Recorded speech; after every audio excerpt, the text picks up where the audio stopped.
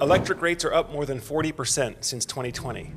Yeah, 40%. In this video, I'm going to be teaching you three tried and tested ways that you can reduce your electric bill. I'll show you proof of how effective they are and how much savings you can expect from each of them. The smarter way to go solar. Okay, so for the first way to cut down your electric bill, I want you to imagine that you have two buckets. One of them is intact, while the other one has a couple of holes in it. Which one will take less water to fill up? Okay, you get the idea, right?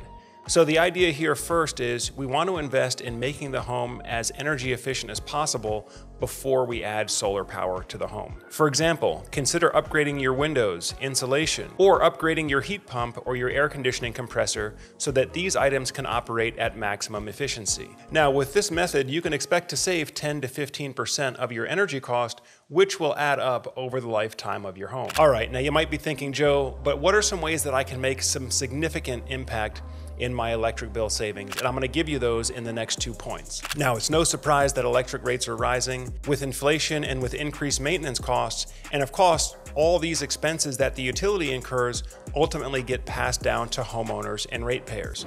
And newsflash guys, these prices aren't going down anytime in the near future. Now, for the better part of the last two decades, I've been helping homeowners save on their electric bills by getting a professionally installed solar power system. Now, there are a few ways that a solar power system can help you save on your electric bill, but the best way to get the best payback is a net metering system. Now, when we talk about a net metering system, what we mean is that your relationship with the power company and your metering, it becomes a two-way relationship.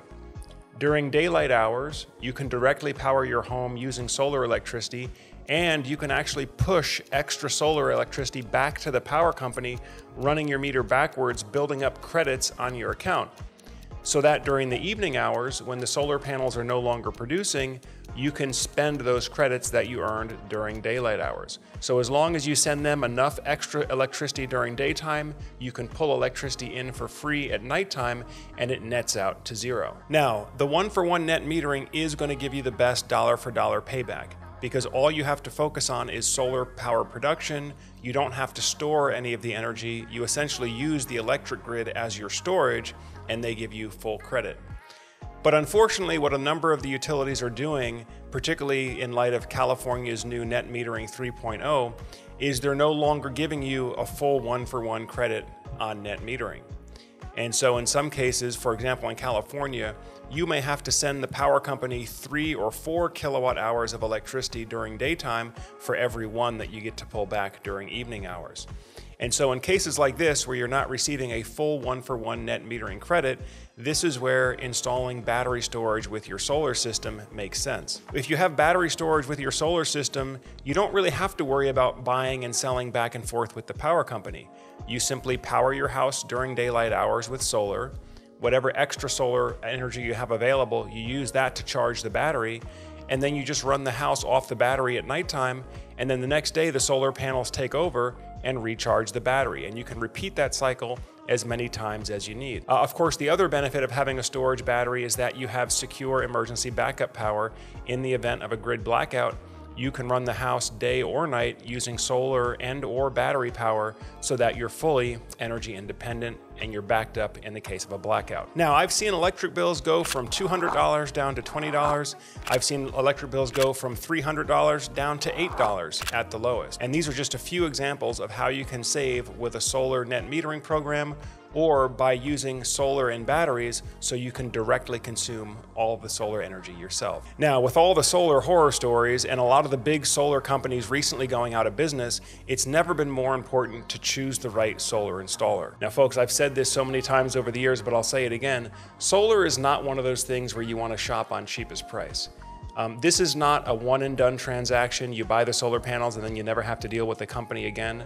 When you're buying a solar system, when you're investing in a solar power system, it's not just the equipment and the, the initial installation, but it's also the warranty and the production guarantee and making sure you're choosing a company that you have high confidence in that they're going to be a good partner over the entire 20 or 25 years of the warranty term. By the way, if you're in the process of looking at reputable solar contractors in your area, uh, if you need to get a price quote, or maybe you already have a price quote and just need to get a comparison to make sure that you're getting the best equipment, make sure you're getting the best deal, uh, as always, you can visit us on the link below here. Uh, set up a call with a solar expert, uh, or just use our free online quote tool to see how much solar and battery storage costs in your area. Now, this year there's a new category of all in one solar power system that's emerging, what I call the semi DIY system. Uh, it's not a full DIY where you have to piece each part together individually.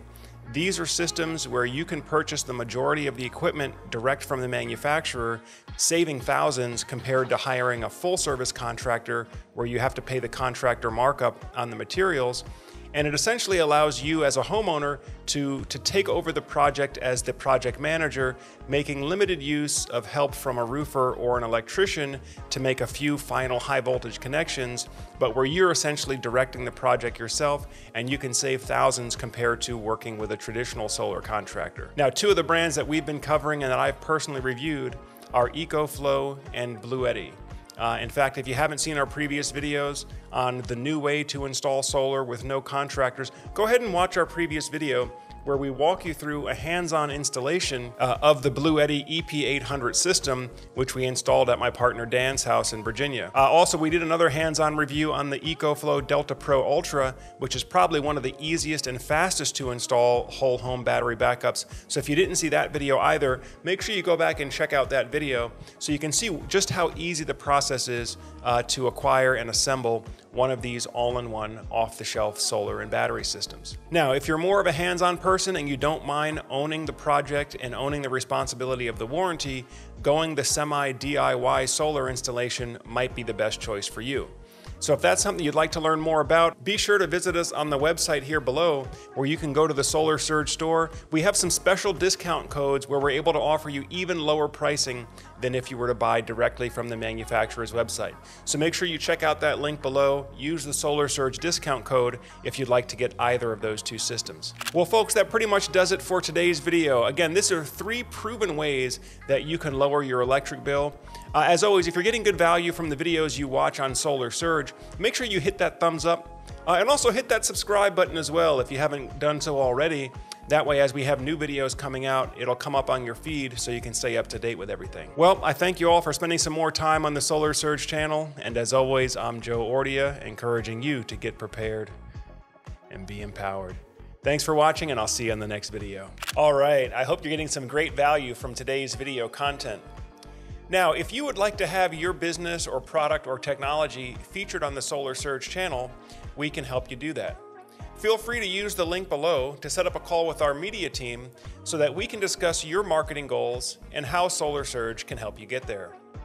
Solar Surge is the leading online community in the U.S. residential solar and energy storage space. And so, if you would like to have your business or product or technology introduced to our audience, we can help you do that. Uh, again, feel free to reach out to us on the link below to set up a call with our media team or email media at solarsurge.net.